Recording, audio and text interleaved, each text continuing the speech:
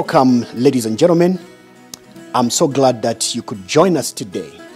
It is a beautiful day, and I promise you, it is a, a beautiful day because of what we are going to discuss, what the program is all about. Um, God is going to speak to us at a personal level, um, and God is going to reveal His will for our lives. And I believe after this uh, program today, your understanding and my understanding will be different. I am joined today on this program by a great man of God, someone who has served the Lord for many, many years. He's a man who uh, probably I would say is a national father by reason of uh, what he has done and what he continues to do. I am joined on this program uh, by Reverend Gamaliel Mwanza, who is the president and founder of uh, Ministries International. Um, he served in Victory Ministries for many years, and actually, he was one of the first uh, students that were produced um, by Victory Ministries. Reverend Gamaliel, welcome to the program, sir. Thank you. It is a great pleasure to be home. This is home for me. And uh, you mentioned this, the first four students. it reminds me the days would move the school, go where the crusade would be going. After class, go hang posters. From hanging posters, go to the crusade grounds. And I mean, it was a great fun. And uh, I wanted to say that I'm very proud and excited about Dr. Nevers Mumba. I don't care what other people say, but uh, his inspiration has been so, for me personally, rooted and deep in me. Uh, people call me bishop and all those titles. It is his influence and the deposit in my life. Um, of course, we were the first founding church members. Uh, we were the first founding pastors. We were the first students. So our team was so consolidated, consistent in what we were doing. What uh, Dr. Mumba said, we got excited and ran with it. It was a great joy. Wow, you mentioned something about first, so I would call you the first fruit of Victory Ministries. And uh, also, I want to take this moment to say thank you very much for the great price that you paid uh, in ministry to pave way for all of us. And uh, we are standing uh, on the shoulders of your great sacrifice and uh, all the prayers that you prayed and everything that you put in place. We are functioning because you did your part. But let me uh, drive in something from what you have said you were a consolidated team. You you were everything. You would put up posters. You would pray. You would cast out demons. You do everything. So what what really jumps out immediately to me is that your motives were right. In fact, we are talking today. Our discussion centers around the topic: Where is your interest? Because it shows that your interests were right. So, how did you manage to do all these things, just a small team, and you did it joyfully? Well, thank you. That's a very interesting question. Um, see, when you fail to understand the, the visionary and his vision, then you will misfire. We have uh, so many preachers today who began very well, but because of the staff wow. have compromised or diverted, they're doing something else. When he, the ministry began, the emphasis has always been the kingdom of God. Whatever you are doing, focus on the kingdom of God. And that, in the heart of uh, Pastor Justin Katebe, Jefferson Changwa, Lazarus Mira, myself, we envision that. Of course, all of us were gifted differently. Uh, Pastor Katebe used to lead worship, both church crusade. Um, I taught counselors. Pastor Amira was a technician. Uh, Pastor Changwa was more in intercession, but you know, we team up together, but very consolidated. We made sure we are doing things upright without interfering into each other's jurisdiction. And we went that way and we saw things work out in a way. People thought the ministry was so big. There are people, I remember when we were doing a crusade in Ndola, a group of pastors said, We want to come to Kitwe and see how you operate. Because I'd never seen a thing like that. So, yes. So, to answer your question, our focus has already been centered on advancing the kingdom of God, not our personalities. Um, there are so many today who have diverted from the calling because they want their personality discharged. They want the attention of the people on themselves. But the vision of the ministry was centered and has been centered on advancing the kingdom of God. That's where Zambia shall be saved comes from. Because once we advance the kingdom of God, there will be salvation. For God so loved the world that whosoever shall believe in him shall not perish, but have everlasting life. Where do you find that life? In the kingdom of God. Whose king is he? The King of Kings. Amen. So that's why we were so bonded together. Right. Um, a follow up uh, question or comment on that one.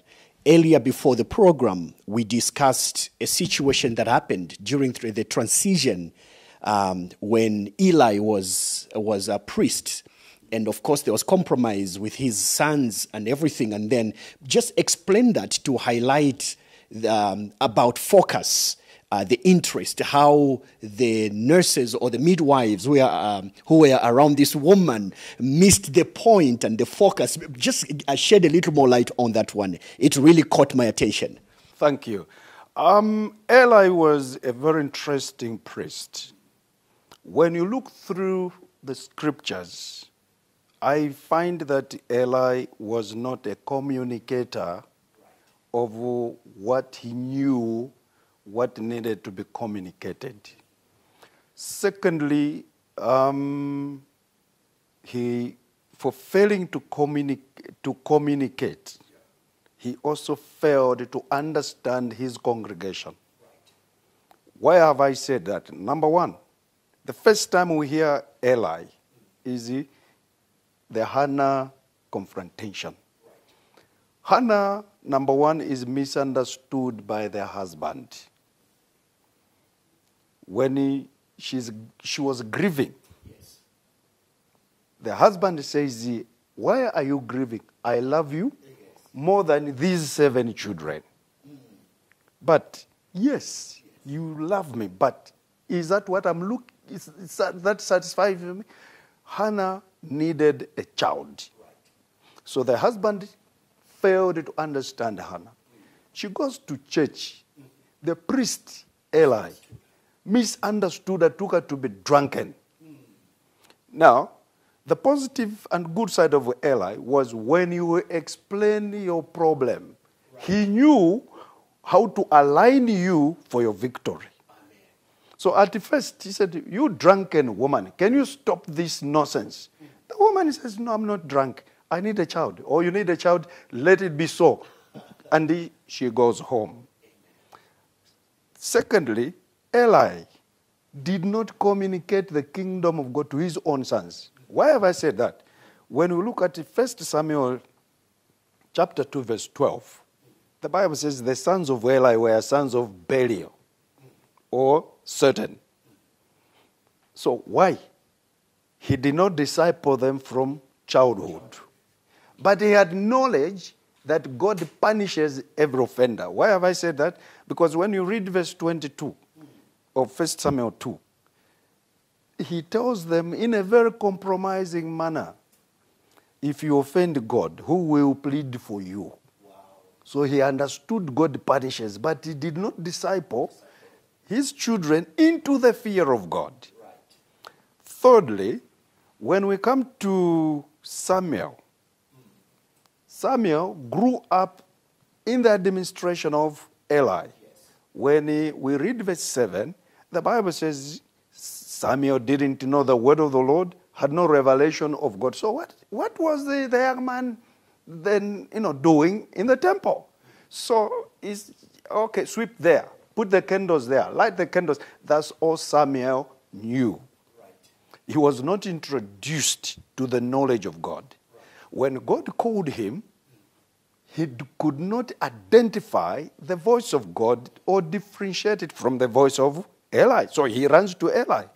So it's the same thing today that most of us only know the human voice. We don't know the voice of God. Why? Because the people who are communicating with us, we are dealing with, have lacked or don't have that experience that needs to be communicated, which needs to be deposited to transform the upcoming generation. Now, what did that birth? Because Phineas and Hophni were the ones now were in the altar.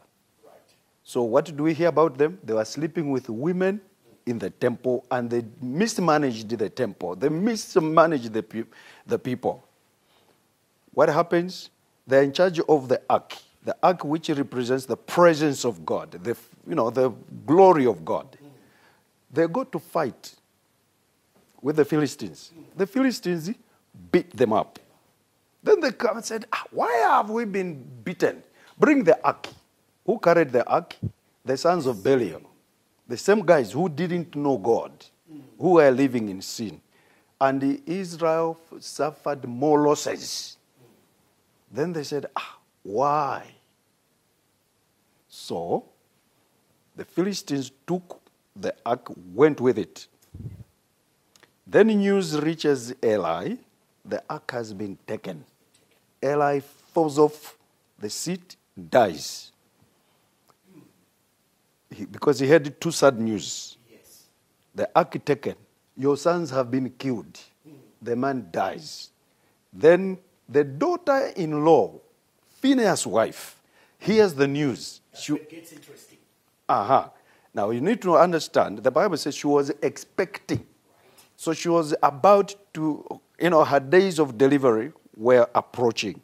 When she heard the news, she went into labor and he gave birth. So the women that surrounded her, which are called the midwives, midwives helps the mothers to, you know, give birth. They encourage them when it's so painful. No, be strong, push, be strong, push. Which are, I call these midwives, the elders, the deacons, the people who surround the visionary. Yes. These are the ones that uh, encourage you. You call them for prayer meetings, you share your vision with. So, Phineas' wife gives birth. What did the women say? They say, Be of good courage. You have delivered this child as well. But what I know about women is that when she gives birth, she wants to see the child. She wants to know uh immediately, like she's not the one. But not Phineas' wife. Why? Passion for the glory of God. How shall I raise this child in the absence of the glory of God? So that's why the church today is in a mess because we teach people without the glory. The absence of God is not there. And that's why some of us go to witch doctors and do all kind of things to see the power. We come on the pulpit, your telephone number is 09 what? How ah, is, you know, that is not what we are called for. We have been called to transform lives by the Holy Spirit. So Phineas' wife focus was on the glory of God. How can I raise my child without the glory of God? Because when I come to church, I need transformation. I need the knowledge of God. My life to be soaked in the presence of God. But there is no glory. So Phineas' wife did not celebrate her son. Why? No glory. Now, the, the midwife are our leaders, our deacon, our associate pastors who come, oh, pastor, lelo, church diwa lelo. It was great. 2,000 people, 5,000, the offering, you know. But if you don't understand what you are there for, you will celebrate carnality than what you are supposed to celebrate. Phineas' wife couldn't pay attention to the women. Why? No glory. So, may we examine the people who surround us. That's amazing because, like you have said, uh, Phineas' wife is centered on the glory. Yes. The midwives are centered on the fruit. Yes. And they do not understand that the fruit is of no effect without the glory. So, like what you're saying is, it's sometimes you have the leadership that moves away from the glory of God because mostly the people we work with, the people that surround us, are looking for results, but they are not ready to go through the process. They are not ready um, to, to pay the price. And please marry this with the story of um, uh, Jesus um, with his disciples asking who he was and uh, how they move on uh, moved on and how Peter missed it in the midst of the revelation. Please uh, make comments on that. Thank you so much. So the midwives are only interested how many people came to church. The church is growing. The midwives are only interested in how much money came into church. That even when you share your vision, sometimes it will be difficult for them to find what you want to do. They make your life, your work difficult. So this is how many today have missed it. How have they missed it? Because they listen to the midwives. And they want to walk with the midwives. The same thing Jesus in Matthew chapter 16, we read from verse 13. Jesus asked the disciples. Now, you need to understand that the Bible says when they came to the border of Caesarea Philippi, he asked that question at the border. Why did he ask the question at the border? The thing is that the Philippines knew Jesus as di- differently, and Jesus didn't want his team to be confused by what the Philippines interpreted who Jesus was. So he asked them a question, and this is one thing that most of us lack. We need to take stock of what we're doing. We need to take stock. Are these men and women who I'm working with understand what I am doing? Because many times we, we come, people fall down, hallelujah, praise God. But where's the transformation? I love seeing people fall down. I love prophecy. But my interest is transformation. Because that's what Jesus came for. To take away that which defiles us, that which makes us look black, dark. It doesn't matter the color of the skin, but that which just have arrested your heart, pollutes your mind, pollutes everything that you cannot live the real you. There's so many people today who are not living their real life. They live the opposite. So Jesus says, what do people tell, say uh, I am? You are Jeremiah. Was Jesus Jeremiah? No. You are Isaiah. Was Jesus Isaiah? No. You are the old prophet. Was Jesus the old prophet? No. So this is where you this is where you find us have lost their vision because they focus on what is not. There are business people who have lost their businesses because they have focused on what is not. There are wives and husbands who have lost their marriages because they focus on what is not. Politicians have diverted from what they were supposed to do because they focused on what is not. So most of us have lost it because we focused on what is not. Because Jesus was not Jeremiah. Then he pushes the question to the same people, said, Okay, what about you? Then Peter, by the revelation from on high, you are the Christ, Son of the living God. 100%. After that revelation, Jesus began to explain to them how he would die in Jerusalem. So you need to understand that revelation will always attract the mysteries of the kingdom, the depth of the kingdom. You begin to see what others don't know, don't see. But you'll be reading the same scriptures. So, Jesus explains the format of his death. Now, you need to understand that Peter is the one who said, You are the Christ, Son. Aha. When he had the format of the Christ like, he said, Ah, you go through shame. He pulls Jesus aside and say, This can't be. And how did Jesus address that? He said, Get thee behind me, Satan. For your interest are the interest of men, not of God. So many times you get a revelation, but how to understand the revelation is another thing. How to execute the revelation is another thing. So Peter diverted, shift from the revelation into the human flesh. So when you and me hear God, and our congregants said, No, no, not that way, not that way. The question is, who is influencing them? Jesus said, Satan, get behind me.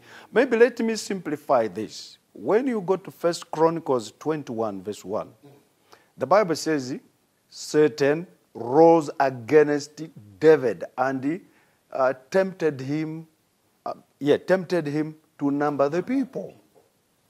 So the idea of numbering could be very good, but who inspired? Whose idea? So when Peter said, not this way, Jesus saw the influence behind that. So in the midst of revelation, you are, don't think that you are just, no. The enemy will still want to come in to interfere with that revelation because he knows once you execute the revelation, he is in big trouble. In trouble. And he, alas, most of us have gone the route of Peter's idea, not this way. The glory does not just come. You have to go through the shame, the embarrassment, the hate. But at the end of that, when you, cross over, whew, hallelujah, praise God. And everybody begins to go, hey, He's our man. He's our man. So, my appeal today is as we discuss this and as people are listening, is please do you understand the visionary? Do you understand the vision of the visionary? Because the moment I refuse to go through that shame, what happens? I give the dominance to Satan. So that anointing that you feel when you pray, but because you have listened to the influence of Satan, you will not see the very fragrance, the very depth of what God called you to, to do. Wow, something important we need to highlight here. Uh, viewers, there's a very strong message here that I want us to focus on from what uh, Reverend Gamaliel has explained in the book of Matthew, chapter 16. Jesus is with his disciples, his assistants, his leadership. And um, of course, many things have been explained, but Peter has got a revelation of who Jesus was. And Peter is looking forward to the moment when they'll come into their glory. But Peter is not ready to walk with Jesus through shame. Peter is not ready to pay the price. And this happens mostly in the leadership circles. It happens in church, it happens everywhere when we have to make hard decisions in order to get to where we have to be. I know there are so many times when you leaders, you serve around a man of God, and, we are not talking about a man of God being out of place or being out of the will of God. If he's out of the will of God, it's a different story. But we are talking about um, when it becomes uncomfortable for us to go through a process and at that moment, normally we pull back. We pull back and we want to draw our leader to a comfortable position and solution. Some of the things that God does do not require comfortability. We have to pay the price. The Bible says in Hebrews, looking unto Jesus, the author and the finisher of our faith, who for the joy that was set before him endured the cross. There's a moment we have to endure the cross. The Bible continues to say, despising the shame we go through a process of shame. Leadership is not always glamorous, leadership is not always attractive. We need to pay the price together, and we cannot pull our leader to our conclusions because sometimes our conclusions are not right. Reverend Gamaliel, how do you handle now your leadership that is pulling you to a place you believe this is not what God wants me to do. We need to pay the price. We need to do it this way. It looks very unpopular. It looks very. Um, it is attracting a lot of criticism, a lot of shame, but you know that it is the way to glory. But you are working with a leadership that is not ready to go with you. All right. Thank you for that question. Uh, number one, Jesus didn't chase the 12 for not understanding. Exactly. He remained with them. Exactly. But what was he doing with them? He taught them the principles of the kingdom, despite them not understanding. Um, look at all the way to the cross. Before he goes to the cross, he is still with them. He's with them. And uh, when he's just about to to be taken to go to the cross. He even takes them to a place of prayer. Actually, one of the disciples, um, when Jesus is about to be crucified, still same guy we were talking about in chapter 16, he uses a human and earthly system to deal with something that is uh, divine. Can you please shed a little more light on that? Jesus takes Peter and his team to a place of prayer. Jesus says, we have come here to pray. Yes. They slept. He's not praying. He's not praying. So when leaders avoid prayer meetings, they are dangerous to your ministry. Say that again, sir. when leaders avoid prayer meetings, they are dangerous. They are poison to your leadership, to your ministry, to the anointing, to the growth of the ministry. Now, our fear many times is how to remove them. Right. But despite that, Jesus continued praying mm. with them. So, how do I handle that? Mm. Number one, he was he still continued teaching them. At every level, remember one time they, they asked Jesus, teach us to pray. pray. Exactly. So with them. I remember one Sunday I asked you one gentleman who I was growing up into leadership. I said, Can you close in prayer? He couldn't pray. Now, the man, you know, very zealous and looking, you know, so that hit him hard. He went home thinking and uh, it troubled him the whole week. That was his breakthrough into prayer. His commitment just changed. I didn't know.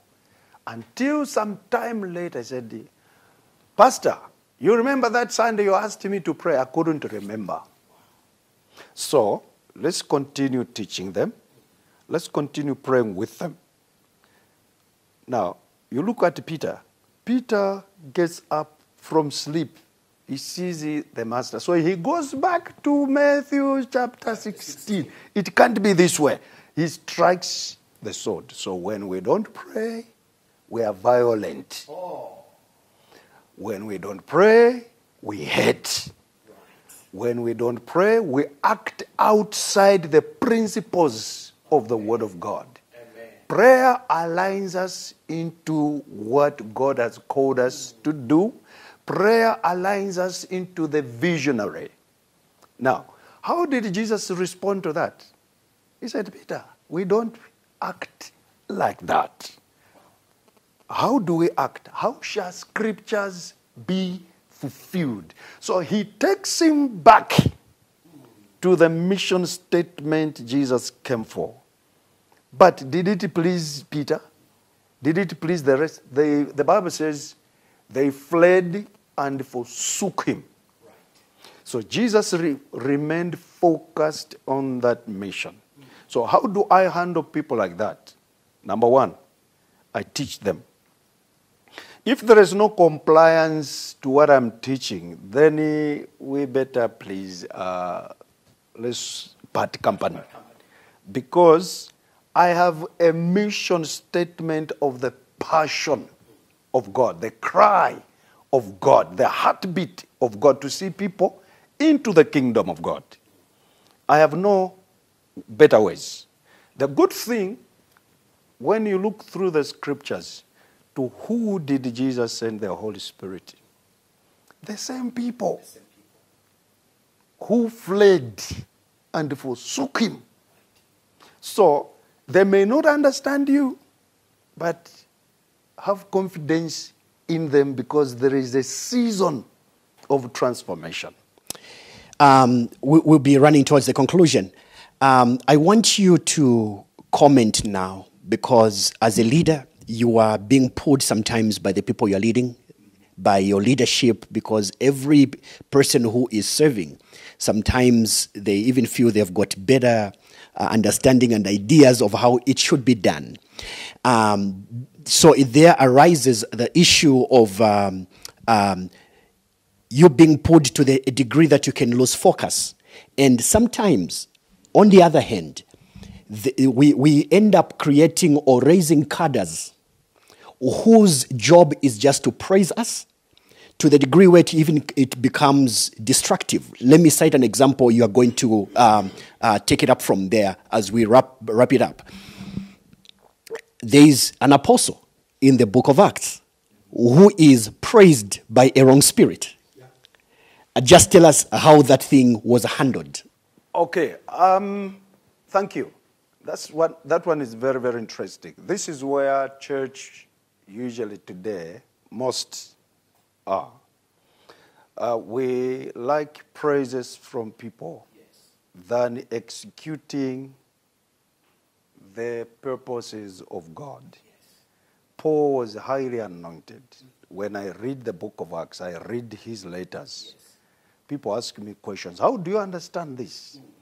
There are moments I sit, I said, let me go to the school of Apostle Paul. Yes. So I'll read him in the book of Acts and go through his letters, the depth. Then eh, the Bible says eh, that young lady who had the spirit of divination, she didn't do it one day, no. she did it many days. Yes. It is until the Holy Spirit engaged Paul it's not me, it's not God. So, there are most of us, or many of us, who operate under that divination. What does that mean? How can you see it? Sometimes it may not come that way. Yes. Our members come to church. They are expecting the pastor, Pastor Simwanza, Cyrus Simwanza, to prophesy lay hands on them to cast out that demon, that cancer, and all that. Have they come to worship God? No. No. And the Gamaliel Mwanza comes to church at the back of his pocket.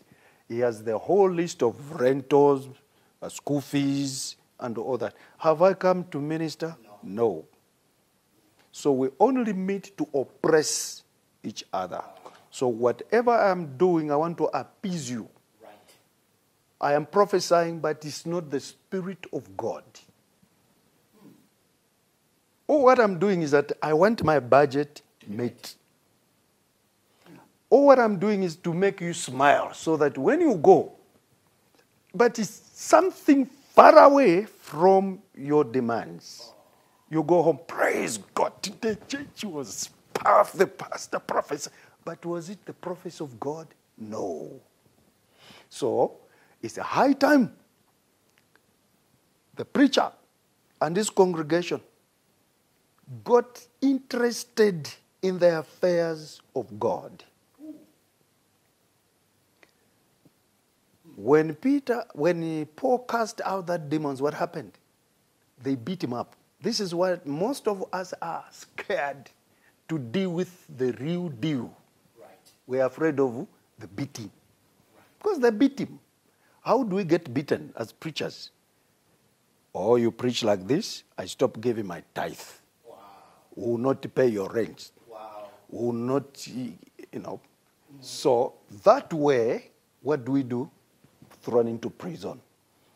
Thrown in the prison, remember to praise God. He called you, you are part of who? The real deal. So, I want to emphasize and I want to talk to the people that are listening to this program. Please, congregation, when you come to church, the Bible says, as the deer pants for the water brooks, so my soul longs after. Desire God. Come to church desiring God. My fellow pastor, when you pray, don't just God the anointing, a ah, ah, desire to know Him. Moses, despite all the anointing, the power that was manifested in Egypt, still tells God, I want to see your face. I want to know you. Yes. Paul, despite, you know, the first time I'm reading, the handkerchiefs came from Paul. Yes. The aprons, he says, One thing I do, forgetting what lies behind. I press towards the mark to know the high calling, so that I may know him. So may I first prioritize the knowledge of God, the presence of God, that when I appear, people will be impacted. When they come, Jesus said, Let him that is thirsty come to me and drink. So they must come thirsting for the infilling. For me, that's the way forward. Amen. Amen. While our viewers, I believe that has been very interesting and very uh, revealing. Um, Paul entertained that evil spirit, just like uh, you and I sometimes, like uh, uh, Reverend has said, we uh, sometimes, uh, for, for, for a number of days, Paul entertained that lady because she was showering praises. That was free publicity and uh, advert, adv- advertism that was going on until the Spirit of God struck him and said, It's not about you. So we need to come to that moment where we know that all glory belongs to God. It's not for us. We need to come to the place where we know that we are only His tools. And we want to appeal to you, our church members. We want to appeal to you. Come to church for right reasons. Don't come to church for a miracle, come to church for Christ. Don't come to church for prophecy, come to church for Christ. Because at the end of the day, if Christ is not glorified, everything else is amiss. Reverend Gamaliel, your closing remarks to the people who have joined us and um, whatever you want to impart in them. Well, I go back to Matthew chapter 16. Uh, that scripture has been very heavy on my heart, on most especially how Jesus addressed Peter. Get behind me, Satan. Not that Peter was Satan, no, he was addressing the influence. David was influenced by Satan. So there are many times we have good ideas that look very good ideas, they are not from God, as long as they divert you from the very cause. Uh, number one, to those of us pastors, please, when you get an idea or counsel from the leaders, the associates, weigh it, prove it. Is it in line with what God called me? Is it in line with the purposes of God that we are supposed to be? Secondly, we must know that failure to adhere to what God called us, we bring the dominance of Satan. Because that idea Paul, I mean Peter mentioned, was not influenced by God, the Spirit of God. It was demonically influenced. So when we pay attention to the human knowledge, we bring the dominance of de- demons in the ministry, and this is when somehow we begin to fight with our leaders. We begin to, you know, confusion in the congregation. The anointing doesn't flow. Why? Because we submitted to what was not God. Um, I had a man of God from Zimbabwe. He went to camp to pray for the conference that they were going to have. He was there 14 days praying and fasting. God gave him the theme for the conference. Then he came to share to, to his leaders what God said to him. The elders who were not in that prayer closet, Pastor Silas, changed the theme. No, Pastor, this. And the pastor listened. So when the conference started, the first two speakers were his guests. Both of them spoke into the conference God gave the man of God. So, what did the man of God do? He went on the stage, repented, apologized, changed the theme. And I want to say the same thing to those of us that are listening. Please, when you realize it is wrong, stand out. This is not, it is this. So, when we don't comply with the calling, we listen to man's ideology. We bring the dominance of demons in the ministry. Thirdly, those of us who surround the pastor, please develop, number one, an attitude of studying the Word of God. When you study the Word of God, it will align you and keep you focused on the vision that God gave your pastor. Two, develop a spirit of prayer. When you pray, you'll be engaged into what God wants to do in that ministry. When Victor Ministries started, people thought it was a very big ministry. We had the minister had a lot of money, so many structures, and some people even pushed. We are coming to Kitwe. We want to see how you operate. But what made the ministry that big? It's because the whole staff focused on the vision Zambia shall be saved. All of us, my, pray, my, my job description was teach counselors, train them to cast out demons. Pastor Katewe led worship. Lazarus Mina, of course, have you know technical. Pastor Changwa more into uh, intercession. All of us did that, but focusing on the vision Zambia shall be saved. As we pursued that, Dr. Mumba just spent time praying and studying the scriptures. I mean, uh, this I can say, he has said it everywhere. In fact, some people who go to see him, Gamaliel. Mm.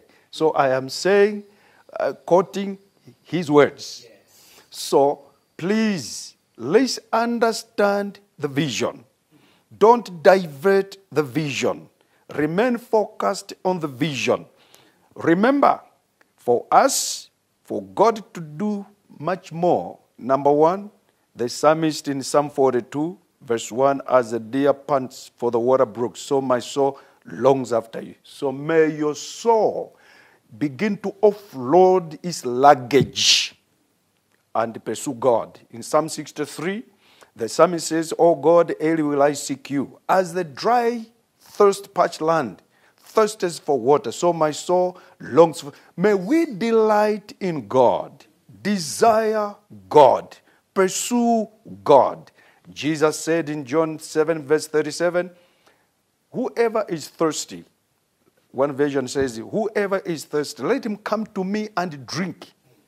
So, may we come to the Lord thirsting. When we come thirsting, then he will fill the cup. He, Jesus further said in verse 38 He who believes on me, as scripture has said, out of his belly shall flow rivers of living water. So it's not what you think or your ideology, it is the scriptures. Jesus said, How shall the scriptures be fulfilled? So his coming was not to impress you or impress me, but to fulfill the scriptures. So please, Pastor, congregants, let's settle and rest in the scriptures. God bless you. Thank you very much, all our viewers. It's been a pleasure. We pray that God will plant this word in your heart, and um, it's all about correction and alignment. We pray that God will bless you, and uh, as you go to church and as you go to serve, you are going there to serve with the right purpose and right reason. It's not self serving, it is about the kingdom of God. Thank you all for joining us. And if you have never prayed to receive Jesus Christ, we want to give you this opportunity. Simply pray with us and say, Heavenly Father, I ask you to come into my heart. Forgive me of all my sins. I accept your love. I accept the sacrifice. In Jesus' name, amen. Thank you all for joining us. Uh, may God bless you. And we once again say thank you to Reverend Gamaliel Mwanza for sparing uh, these precious minutes with us today. We love you all until we see you again at the same time. We say bye bye for now.